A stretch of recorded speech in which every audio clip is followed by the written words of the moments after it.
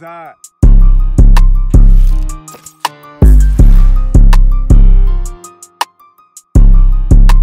What's going on guys? Welcome back to another video. This is actually one of my favorite tutorials I've made in a while. We got some really cool stuff going on for you. Five different trippy optic distortion effects. All these effects are pretty easy to pull off. We're to do the majority in After Effects, but I will show you a lot in Adobe Premiere as well. Other than that, only two things I need to tell you. Number one, top 10 VFX of the month. Episode two is airing next week. If you guys want a chance for your work to be featured at the end of that video, hop into my Discord, link down below, and post your work in the React submission submissions channel. And the second thing I want to tell you, which is very important, remember to like, comment, subscribe for that YouTube algorithm. The channel is up like 35% this month. Thank you guys so much for all the support. Let's get right into the video. All right, guys, so starting off with our first effect here, we're going to get right into it. We're going to do this in After Effects. If you're using Premiere with that dynamic link, I've said it a million times, find whatever part in the footage you want to bring into After Effects, right click on it and click replace with After Effects composition. So for our first one, we're going to create this cool little wiping distortion effect that you see here.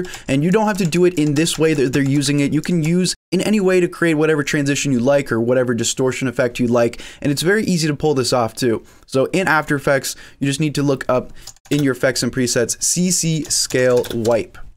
Go ahead and place that on the clip that you'd like. And it's as easy as just changing around some of your settings for how you want this to look. So let's go ahead and set this direction. Let's set it to negative 90 to start. We're going to go ahead and at the beginning of our timeline here, in our effect controls, we're going to click the stopwatch for stretch to set a keyframe. We're going to drag a little bit, and then we're just going to crank up this value. And just like that, we've created this cool little distortion effect. Very easy, very simple. Like I said, we got a lot of cool stuff in this video and it's not gonna be taking up your precious time. If you guys wanna recreate the original transition I showed you where it kind of bounces back, this is where this switches, so pretty good timing. Let's go ahead and create another keyframe here. So we're gonna open up the effects for this. So just open up these little drop down menus. Under CC Scale Wipe, just go ahead and click to make another keyframe there drag a bit, and let's set this into the negative, drag a bit more, and set it back to zero. Very easy. So here's the quick little animation we made with all those different keyframes. So stretches to the left, stretches to the right, and then goes back to normal. If you want that to be a bit more drawn out, just grab that last keyframe and drag it out to give it a bit more time with the animation. So there you go. Easy as that. And again, please don't limit yourself just to whatever I'm showing you. You can create so many different effects, so many different things just by playing around with the effects and knowing what you have available to you with these creative tools. This isn't even a keyframe. This is just me playing with the effects. There's another little alternate look. All right. So next effect, here's another little real live example. This is another video that you guys highly requested. So if anything else from this video stands out to you, we can make some more tutorials on it right here around the 30 second mark. Also, if you guys are interested in any of these, we've made tutorials talking about this offsetting and creating clones out of it. So right here, you can see the words on his shirt is kind of projecting out at the camera. Now I've already made a tutorial way back in the day where we talked about taking something on your shirt, on your clothes, or an object in specific and having it kind of float off. Now we're going to do something similar similar here. Let's start off by creating an easy little mask here. You guys can rotoscope to make this easier if you like, if you're working on something more complex. I'll leave some tutorials down below if you don't know what rotoscoping even is, but we're just gonna do a simple mask over on a graphic on future shirt here. So I'm going to grab my pen tool. I'm going to start at the beginning of my timeline here. And I'm going to just select and I'm just going to make this little selection here. Now let's see what a track mask can do. You never really know. So once I connected my mask, you'll see everything goes away except for what's in my mask. So let's select that layer. Let's click M on our keyboard to show our mask options. And then we're going to go ahead and change the mode to none. So we have our mask, but we're not switching anything around as of now. So now we can right click on that mask while it's up. We can click track mask and let's go ahead and just see what a track mask can do here. So over on the right, you're going to see the tracker window that just popped up once you click that. Method is position, scale, and rotation. Go ahead and click play for that it's actually tracking decently well. Now, if you're not getting a good track with your results, what you can do is you can A, you can do some manual keyframing. And if you're doing something simple, again, it's not really going to be that hard. So once you have whatever it is you're trying to isolate masked out, you have your subject isolated, let's go ahead and click Control D on this layer to duplicate it. I'm going to right click and rename this footage to original. And I'm going to delete the mask off of that original bottom layer. So delete the mask. Now I'm going to click M on this top layer. Let's go ahead and right click and rename this to optics logo. And all you need to do here is go to your effects and presets, search for optics compensation here, place that on your optics subject layer, the one that has the mask, Also, make sure that this mask, we're going to click M to open that up again, is set to add. That way, we just hide these for now. Whenever you're only showing this mask layer, this is isolated. Whenever you're showing this, this is just normal background footage. So once that's set to add in your effect controls with your optics compensation, let me just show you what we can do here. So you'll see if I do this, it looks like it's kind of just peeling away. So let's set it up to be reverse lens distortion. Now you'll see if we crank that up, you get this sort of projecting towards the view effect going on here, which is pretty cool. You can also change your view center. So let's just click this little selection. Let's put that in the center of our graphic here. And let's set up the keyframe animation. So at the beginning of our timeline, we're gonna go up to our effect controls and we're gonna go to field of view, click that to set your keyframe, drag a little bit, and let's pull this thing up. So here is the animation that we just created. I really like how this one looks. It's a really simple thing, but you get this kind of 3D projecting effect off of it that I really love a lot. Because this is also isolated in its own layer as well, you can apply any color grading, any effects onto there if you want to kind of spice it up. All right, guys, so number three on this list, I want to talk about creating some transitions with optics compensation or any other optics distortion effect. This is one of my favorite transitions here. I created this from scratch. Let's go to our project bin, create a new composition here. For this composition, I'm going to make the frame rate 30. I'm going to make the duration around two seconds. And I'm going to name this ring animation. And you don't have to name it ring animation. That's just what I made this, a ring that expands. You can make any other shape and have that liquid bending distortion across whatever shape you want. So from here, I'm going to toggle my transparency off. I'm going to grab my ellipse tool in the top. I'm going to hold down shift. I'm going to make a little circle in the center of my screen. Let's hold down control and just position that here. Now you can also go up to window and you can go to align, make sure that's showing. And with this align window, you can just align this in the center. Also, if you have any fill here, make sure you just click on this fill, the words, not the color, and you set this to none. Let's click on stroke, make sure it's a white color. The stroke width is at 10 pixels. So let's set up an animation for this circle so it kind of grows out. So very simple. Let's open up this ellipse options here. Open up stroke. Let's start the stroke width at 200 and keyframe it. I'm going to drag 30 frames, so one second, and we're going to go ahead and shrink this. So maybe down to 65 for our width. Here's what that looks like. We also want to change the scaling, so we'll click S. We'll start this at around 50.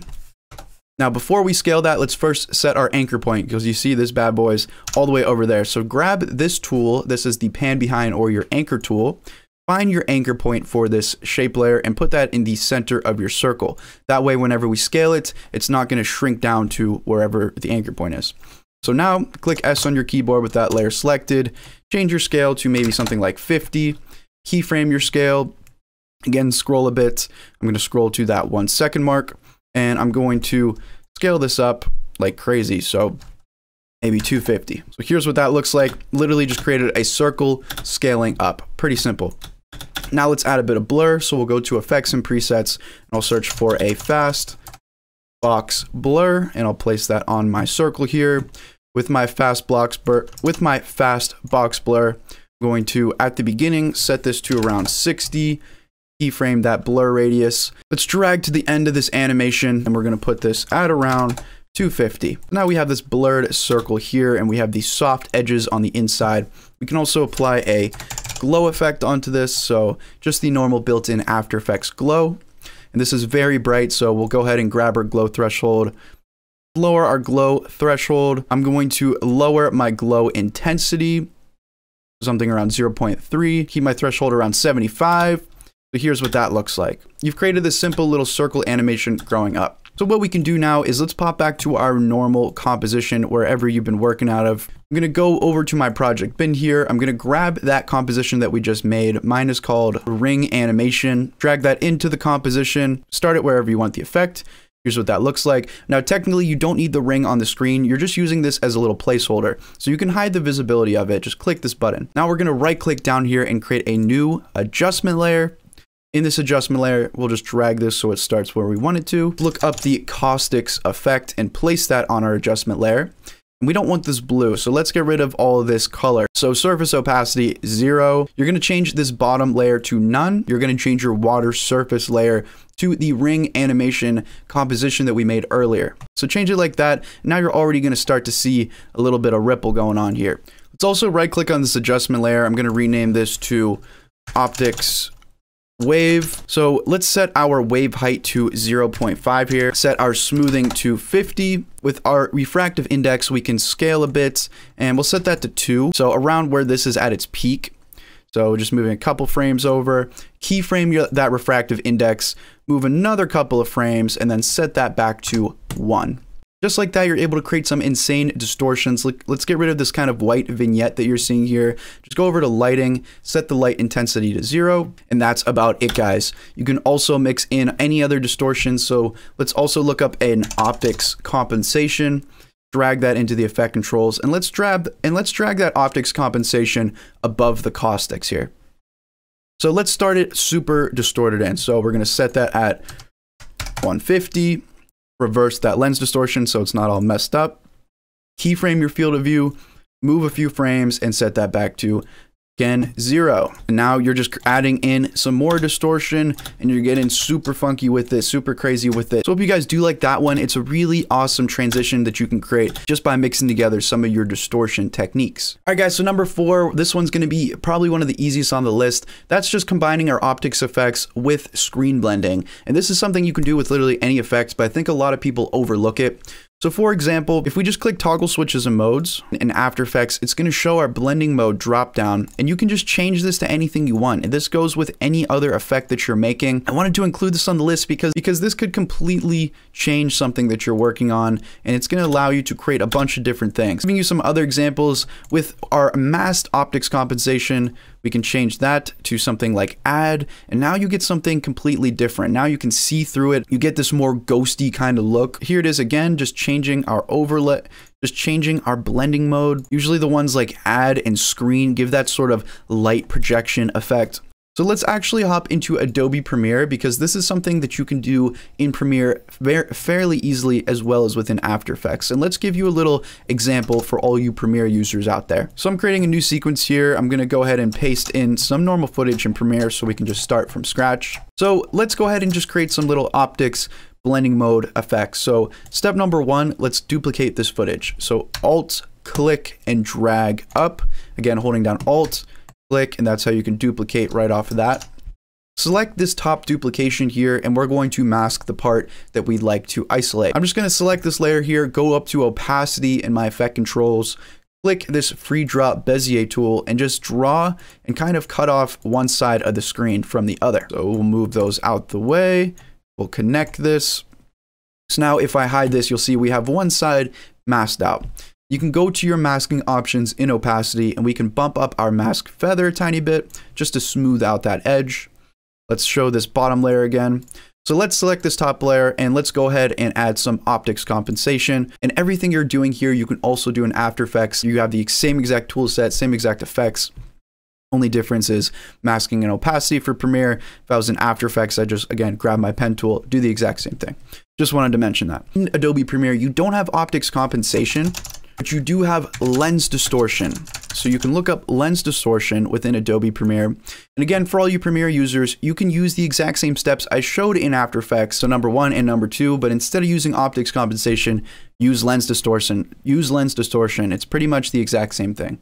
So we'll add that curvature, we'll put it at minus 100, and you're already seeing immediately some cool looking effects. And this is where you go in and you add your blending mode. If you want, you could just keep it on normal. I think this already looks pretty cool. But of course, you can always go back up to opacity here, and you'll see your blending mode drop down. You guys can mess around with that, put it on something like screen or lighten. If you want it to be sort of looking like glass, you can make it darker. A lot really at your disposal. So there is number four. If you click the U key on your keyboard with this layer selected, it'll show all the keyframes here. You can select them, right click them, keyframe assistant, easy ease. You can go into your graph editor here. You can change those around, whatever you want to do with it. It's all up to you. There's no right or wrong way to customize this. So if you guys want to go into there, create some cool graph editing stuff, that is an option for you. All right, and number five, this is extremely easy. In Premiere, you can't do the exact same CC scale wipe that you can in After Effects. So I call this the wide boy effect. Kind of similar to that scale width, but not as precise. So let's try and set that up. We'll hold down Alt, click, and drag that clip up.